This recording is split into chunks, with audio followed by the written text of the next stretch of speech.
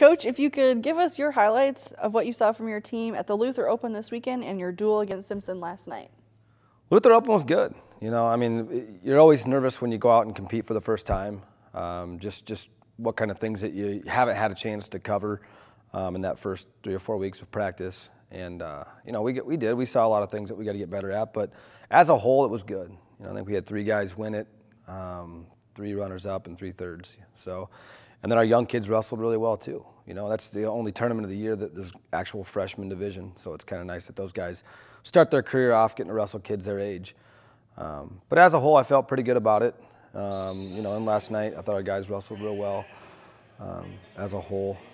Um, and then, yeah, this weekend um, we we head up to Concordia, which is a real good tournament. Um, Wabash was third in the country last year. Uh, we'll see Wheaton. We'll see some Whitewater kids. Um, Chicago, North Central, Elmhurst. I mean, it's a good, it's a real good tournament. There's usually over 20 teams that are there, so um, it's a big tournament, and it's a, it's a, it's a good test for us. And it's, it's also good that we, we do get to see a lot of those teams that we normally don't get to see, and, and we probably won't see again. You know, so there'll be some real, real important matchups. How do you decide which wrestlers you send to which tournament this weekend? Our young kids will go up to uh, the Augsburg Open. Um, there's a like three different divisions up there that um, they classify guys into. So um, they'll go up there, and then everybody else will will hop on a bus and take the five-hour adventure up to Concordia.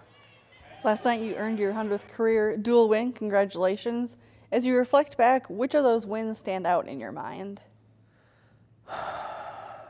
Um, you know, I mean, honestly, every dual is important to us. You know, it really is. Um, it's hard to, to separate them. You know, if, if I had to, you know, last year's national duals finals was um, was a battle, and that was that was uh, that was an exciting dual win for us. Um, but but you know, every year, I mean, every every dual is is different. You know, I mean, uh, most duals we have different kids in the lineup, um, and and there's always different um, emotions and, and, feelings going into every dual. But um, you know, I mean, I, th I, think honestly, the that whole thing is just having a good staff, having an outstanding staff, um, and having good people around you. You know, I don't think that's anything on me. That's having great kids that, that work hard and, and, get better. And um, but thank you. Congratulations. Thanks.